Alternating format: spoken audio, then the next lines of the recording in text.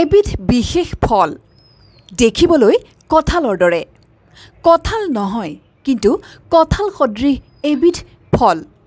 কঁঠালতকৈ আকৃতিত সৰু ৰঙা ৰঙৰ এই ফলবিধৰ নাম হৈছে গেক ফল। এটা ক্ৰিকেট বলৰ দুগুণ আকৃতিৰ এই ফলটো হৈছে ভিয়েটনামৰ। দেখাত সাইলাখ কঁঠালৰ দৰে যদিও এই ফলটো লতাজাতীয় গছতহে উপলব্ধ। কিন্তু অসম তথা উত্তৰ পূৰ্বাঞ্চলত উপলব্ধ কঁঠাল উৎপন্ন হয় গছৰ পৰাহে।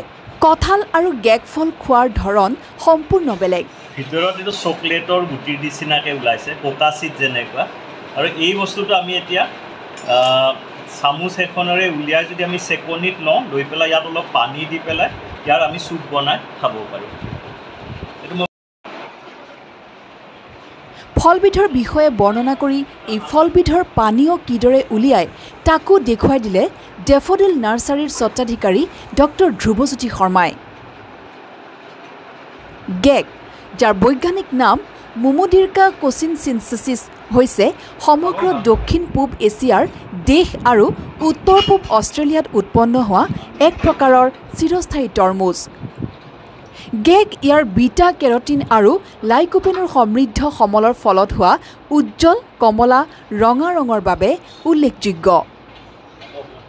ঔষধ হিচাপে ইয়াৰ ব্যৱহাৰ বাৰশ বছৰৰ আগতে চীন আৰু ভিয়েটনামত হৈছিল। আনহাতে ভাৰত শ্ৰীলংকা থাইলেণ্ডত বিভিন্ন ধৰণে ব্যৱহাৰ হয় গেক ফল। কেঁচা অৱস্থাত পাচলি হিচাপেও ব্যৱহাৰ হয় ভাৰতত।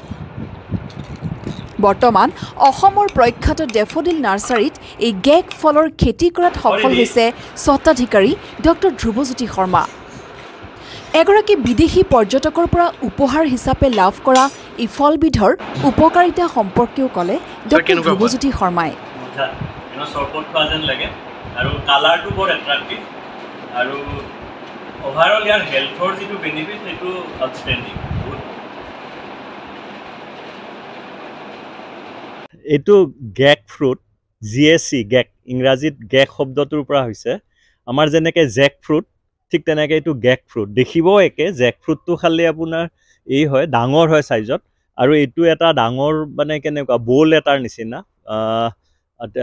ক্ৰিকেট বলটোৰ ডবল চাইজটো হ'ব। আৰু এইটো এটা ক্ৰিপাৰ জাতীয় গছ। তাৰ পৰা হয় ক'ভিডৰ সময়ত লকডাউনৰ মাজত বিদেশী পৰ্যটক এজনে ইয়াৰ এটা পুলি মোক দিছিলে। আৰু এইটো লগাওঁতে এইবাৰ আমি প্ৰায় দহটা ফল পাইছোঁ।